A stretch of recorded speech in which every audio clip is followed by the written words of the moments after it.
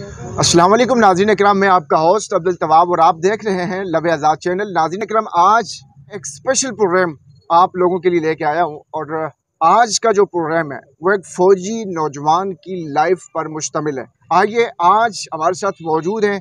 इन्होंने प्रॉपर एक जंग में शिरकत की, लड़ाई की और फिर उसके बाद ज़ख्मी हालत में मुजफ्फराबाद मुंतकिल होते हैं और तीन साल के लंबे अरसे में अस्पताल के अंदर रहते हैं और उसके बाद शिफायाब होने के बाद आज हमारे इस प्रोग्राम के अंदर तशरीफ़ फरमा है।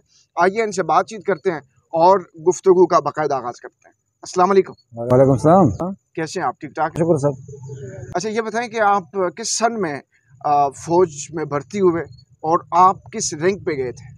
सर मैं उन्नीस सौ नब्बे में भर्ती हुआ था अठासी में भर्ती हुआ था। तो मैं कलरी कल उस स्टाफ में मैं भर्ती हुआ था उसके बाद कुछ अर्सा रहा।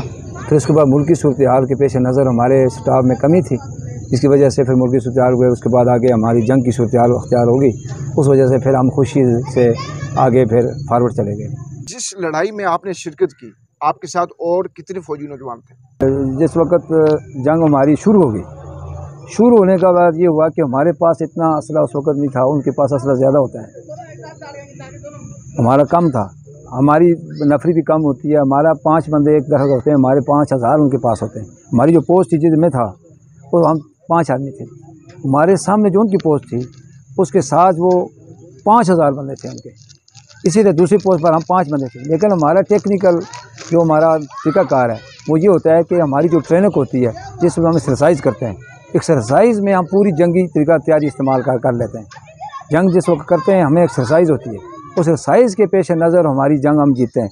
साथ उसकी ये होता है, हमारा टेक्निकल जो तरीकाकार होता है, वो ये है कि हमारा एक सिपाही जो होता है, एक सिपाही जो होता है, वो तीन जगह से वो फायरिंग करता था, एक सिपाही। और मैंने तीन जगह पर एल लगाई हुई थी। एक जगह से फायर करें, फिर दूसरी जगह से करें, तीसरी जगह से करें। वो सोचें कि हमारे पास तो वो कहते हैं कि इतने इनके पास बहुत बंदे हैं।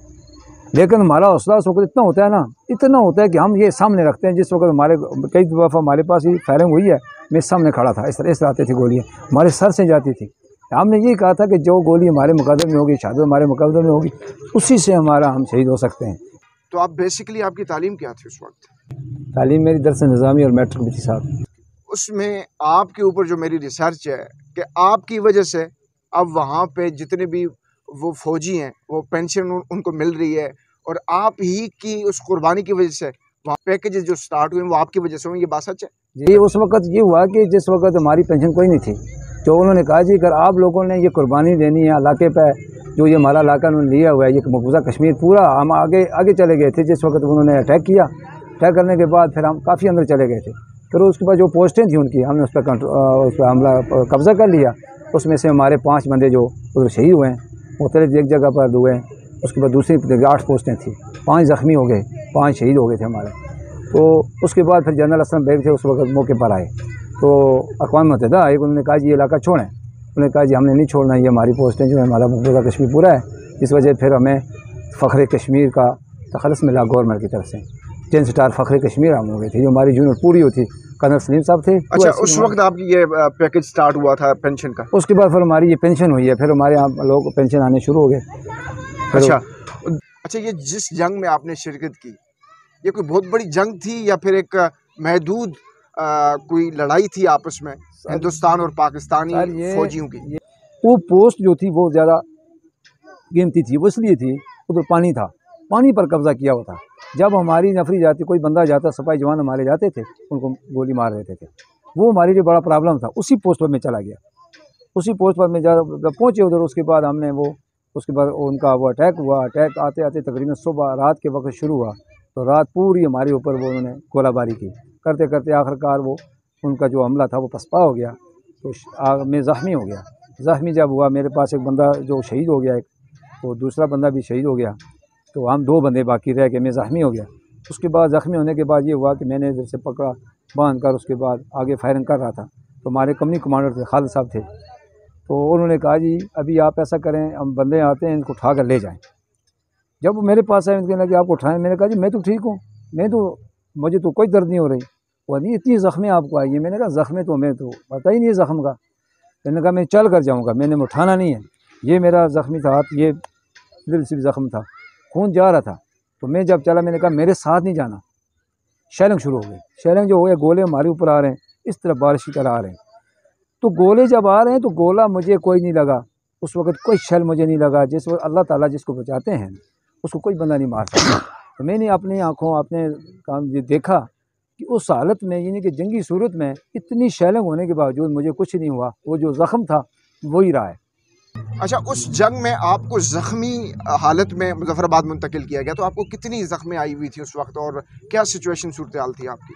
वक्त जंग होती है ना ज़ख़म का तो कोई चर्चा ही नहीं होता। कोई इंसान को ये सोचता ही नहीं है कि मेरे ऊपर ज़ख़म है।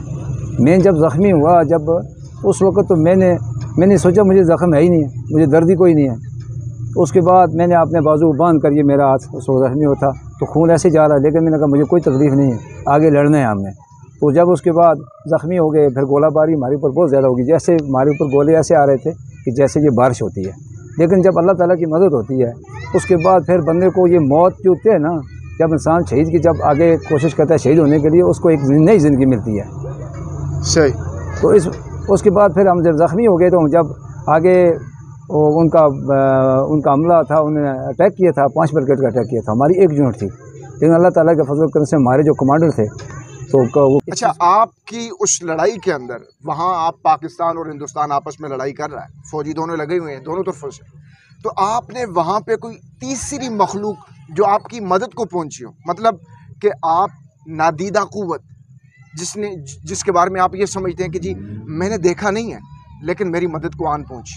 ऐसी कोई सिचुएशन आपके सामने आई? सर, कि जिस वक्त इंसान मुसलमान होता है, मुसलमान का जो नारा अल्लाह अकबर जब करते हैं ना, उसके बाद दुश्मन के पास जितनी भी बड़ी कवत हो, जितने भी बड़े हथियार हों, वो ख़त्म हो जाते हैं। वो जिनके बिल्कुल बंद हो जाते हैं। जब वो आते हैं, उसके बाद वो बंद हो जाते हैं। साथ उसके जो ये कलमा होता है, ये कलमे की ऐसी ताकत है, जिस वक्त बंदा जब अल्लाह ताला के खातर, दीन की खातर, इस्लाम की खातर, मुल्क की खातर, अपने आवाम की खातर जब आगे जाता है ना, उसको वो, उसको दर्द का, उसको मौत का कोई फ़िक्र नहीं होती। वो कलमा जो होता है, वो ताकत बन जाती है। इसके साथ जो ताकत होती है, वो रूहानी होती है।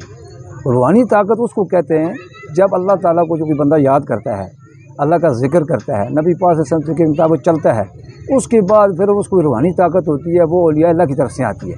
वो हर एक बंदे के पास नहीं आती। वो उस बंदे के पास आती है जो इस चीज़ को समझता है। तो आप पैगाम क्या देना चाहेंगे देखने वालों को? मेरी तरफ़ से पैगाम तो मेरे तमाम जो मुसलमान के लिए यही है कि अपने अंदर ईमानदारी रखें, ध्यानदारी रखें और साबित कदम रहें और उसके बाद अल्लाह और अल्लाह के रसूल के हुक्म के मुताबिक अपनी ज़िंदगी बसार करें और या अल्लाह की अतात रखें और अल्लाह के जो नक्श कार है उसके मुताबिक चलें। अपने तमाम जो मुसलमान हैं उसके साथ अच्छे तरीके से ज़िंदगी गुजारेंगे जिधर जाएँगे, कामयाबी होगी, नाकामी नहीं हो सकती। जी तो नाजरन ग्राम इस वक्त हमारे साथ सबक फ़ौजी सिपाही मौजूद थे, जनाब इमरान गाजी साहब, जिनके साथ हमारी बातचीत हुई, इनकी कुर्बानियाँ। आज अगर हम लोग पुरसकून ज़िंदगी गुजार रहे हैं तो हमारी इस पुरसकून ज़िंदगी के पीछे उन नौजवानों का खून होता है।